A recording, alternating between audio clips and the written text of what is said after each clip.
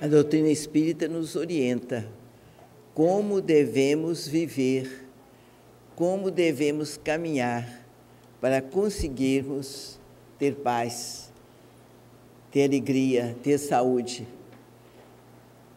E a partir daí, nós sabemos o porquê dos acontecimentos que desagradam a todos nós e as leis amoráveis de Deus, já que Deus a todos nós criou para sermos felizes.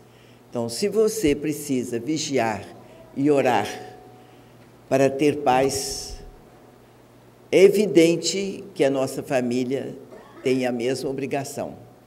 A partir daí, nós entendemos o dever da sociedade, porque nós levamos para a sociedade aquilo que nós somos, aquilo que nós conquistamos dentro da nossa família. A sociedade é produto nosso, ela é justamente o nosso espelho. E assim é a vida num todo, quer seja no Brasil, quer seja universalmente falando. Nós somos justamente aquilo que nós projetamos no nosso ambiente familiar, no nosso ambiente de trabalho, no nosso ambiente social, de lazer, formamos então um ambiente coletivo, onde quer que estejamos. Naturalmente, a vida num todo é reflexo do habitante ou dos habitantes do local. Aí nós vamos entendendo todo esse nosso sofrimento que é coletivo. Nada disto precisaria acontecer se a vibração do povo a que nós fazemos parte fosse equilibrada com os ensinos divinos. Mas por quê? E para que Jesus veio à Terra? Para sofrer? Para morrer numa cruz, atendendo a nossa ignorância, a nossa maldade? Não. Ele veio para ensinar o amor, a dignidade, ainda que soframos, ainda que tenhamos dificuldades na vida, nós não podemos ceder ao mal. Nós temos que dar testemunho da nossa filiação divina, do nosso equilíbrio, ainda chorando. Nós somos cartão da mensagem que nasceu na manjedoura. É preciso que o homem tome essa, esse conhecimento e lute o bom combate de Paulo de Tarso para viver a dignidade cristã. Isso não é religião, é divino. É lei de Deus que está no seu interior, no nosso interior. É dever nosso ensinar a humanidade, ensinar os nossos companheiros de caminhada a vida cristã. Não é vida religiosa, uma religião que nasceu aí na esquina, um punhado de interesseiros que ficam ditando as normas de acordo com os seus pensamentos ainda materialistas é divino, está dentro de você. A lei de Deus está dentro de nós. Nós somos criados por Deus. Temos parte dessa divindade para sermos humildes, bons e dignos de sermos filhos de Deus, não é para sermos orgulhosos e poderosos do mundo. Há um poder, sim, para você que segue as leis de Deus. É um poder, sim, o poder divino, o poder do amor, o poder do perdão, o poder incondicional da vivência do bem, você mereça ou não, nós temos obrigações na divulgação do bem. A gente sofre, mas sente que há uma razão de ser. A gente chora, mas entende o porquê do sofrimento. Mas precisamos entender, precisamos viver as leis de Deus. E as religiões se perturbam e se deixam perturbar pelos poderes do mundo. Nós precisamos do mundo, mas precisamos transformá-lo num céu, num ambiente de paz, de responsabilidade. E há uma decadência triste da moral Há uma decadência lamentável da razão da vida. Não foi para isto que nós viemos povoar o mundo de Jesus. Mas nós temos o livre-arbítrio. Se a gente quiser virar essa mesa aqui, a gente pode virar, mas vamos sofrer as consequências da falta de respeito, de responsabilidade. Se a, a lei do mundo falha, as leis da vida não falham. Elas dão a você a oportunidade do acerto. Para você acertar, naturalmente, você vai ter que burilar sua vida, tirar as arestas. E para tirar essas arestas, a gente chora, a gente sofre.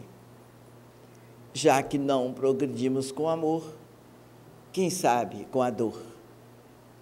E é lamentável que com tanto sofrimento a gente não escuta alguém dizer: Meu Deus, ajude-nos. A gente não escuta. Às vezes batem palma, que beleza, tivemos vitória. Mas ninguém busca a vibração superior para vencer as dificuldades do mundo. Vamos estudar doutrina espírita e procurar vivenciá-la a cada dia a cada hora, a cada momento. Então, uma, uma, um acontecimento da minha vida que eu sempre peço permissão, peço licença, o espírito daquele que foi meu companheiro e amigo, porque foi um exemplo que nós tivemos juntos, sempre combinamos muito, nunca falamos alto um com o outro, nunca tivemos problemas de entendimento. Mas um dia, eu não sei, eu não me lembro o que foi que ele falou, eu falei para ele assim, Ramiro, você sabe que eu tenho a resposta na pontinha da língua, mas não vou te responder, porque eu quero uma promoção lá em cima às suas custas. Vou ganhar uma promoção lá em cima às suas custas. Eu falei isso com amor, com responsabilidade de quem sabe para onde nós estamos indo. E ele me entendeu, me agradeceu. Então, nós precisamos ter esse cuidado que às vezes é um momento que aquela criatura que nos ama está nos dando uma chance de dar um passo à frente da evolução. Não é falta de amor, não é falta de entendimento, é um momento ótimo para a gente reciclar a vida, reciclar o nosso, a nossa conduta. E nada melhor do que uma pessoa que nós amamos e somos por ela amada. E às vezes a pessoa não respeita a pessoa amada. A intimidade traz um desrespeito. A gente ama, mas precisa respeitar. Não, o marido e a mulher não podem perder o respeito um do outro, embora se amem. Mas o respeito é uma forma, é uma feição de amor, é o respeito. E se nós respeitarmos o nosso próximo, não vamos fazer mal a ninguém. Nós estaremos respeitando a nossa própria vida diante das leis amoráveis de Deus. A vida é linda, é maravilhosa. Todo sofrimento é culpa nossa. É falta de compreensão, é falta de entendimento, porque as religiões tradicionais, em reencarnações outras e outras e outras, não nos ensinaram.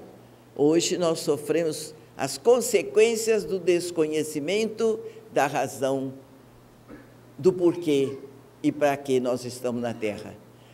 Do porquê Jesus veio nos trazer a mensagem de amor, de perdão, de fraternidade, vida reta e digna.